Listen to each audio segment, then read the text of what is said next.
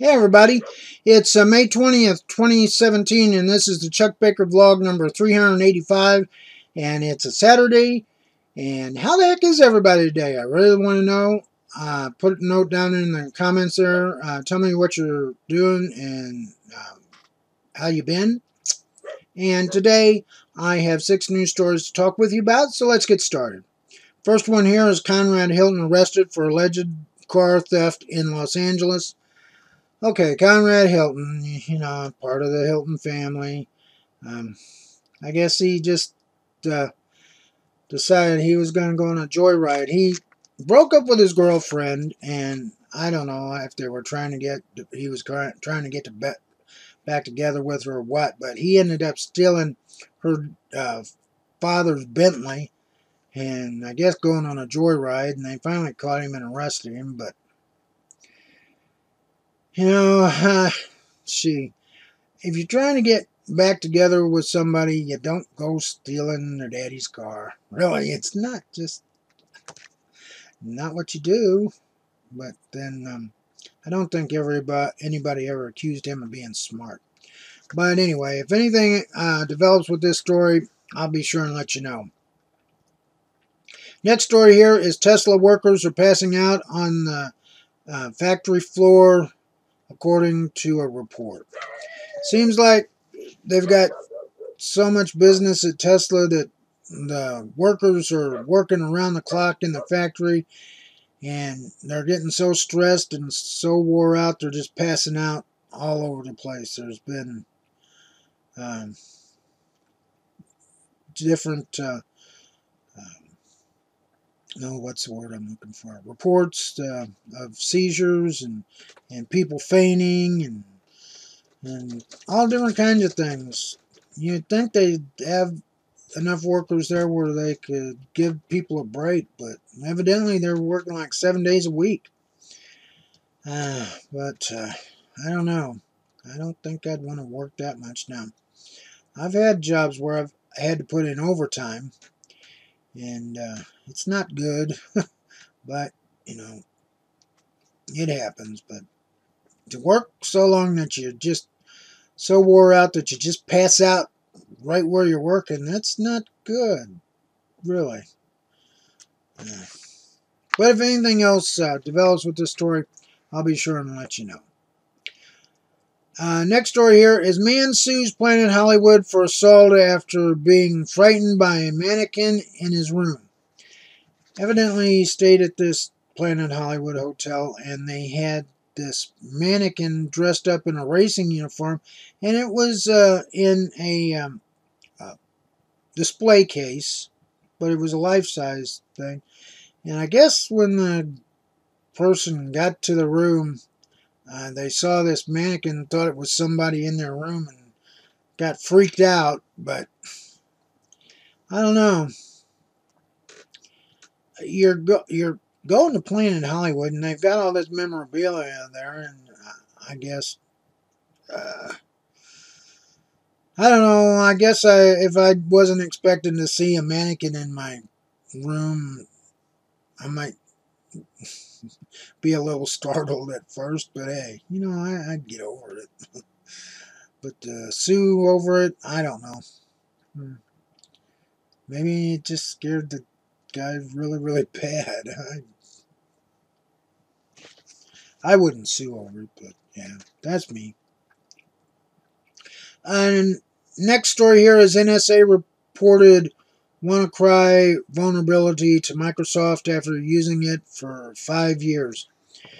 Yeah, evidently Microsoft knew about these vulnerabilities, but they hadn't patched them before. But now, since this ransomware WannaCry virus has been out and infected over 150 countries and uh, hospitals and uh, doctors' offices and everywhere, uh, Microsoft has put more patches out, so it's recommended that if you haven't uh, gotten the latest updates for your computer, uh, that you do that to take care of these vulnerabilities.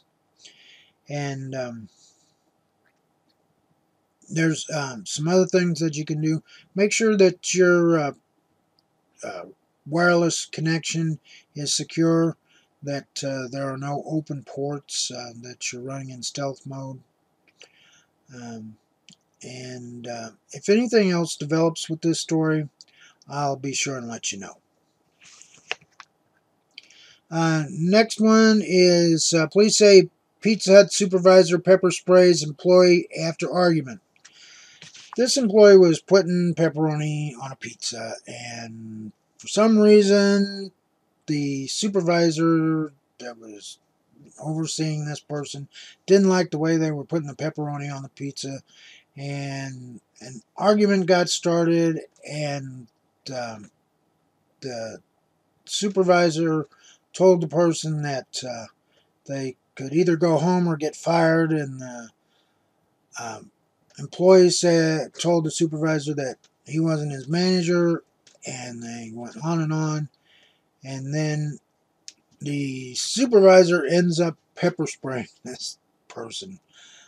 Uh, and then the police were called, and the um, supervisor ran off, left, left, I guess, before the police got there. But they uh, called his house, and he answered, and he said that uh, don't bother to call back because he wouldn't be answering if they did. And they went over there, and he wasn't there. So uh, right now they're looking for him. Uh, but, you know, I think he's probably the one without the job now after pepper spraying an employee.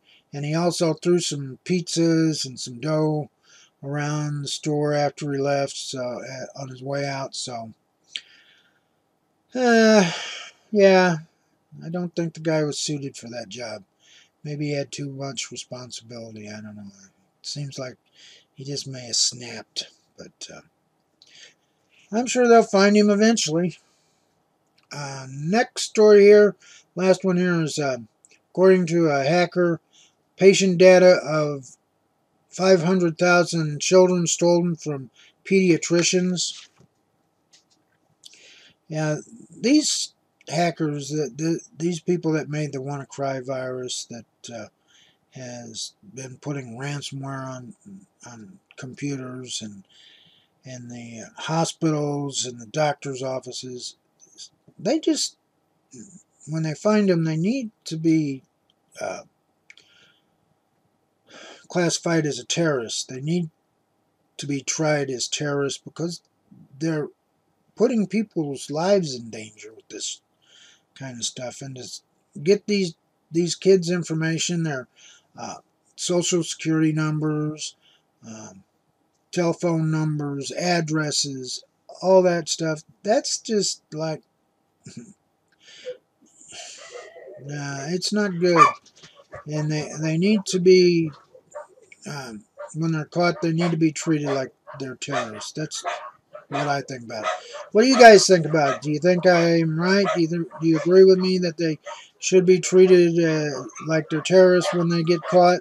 Um, put a note down in the comments and let me know what you think. Um, do if you agree with me, tell me so. If you don't agree with me, that's good too. You know, let's get a conversation going and uh, see what happens.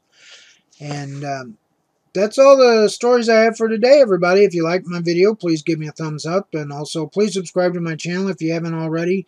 And uh, please tell your friends and family about my channel and my videos.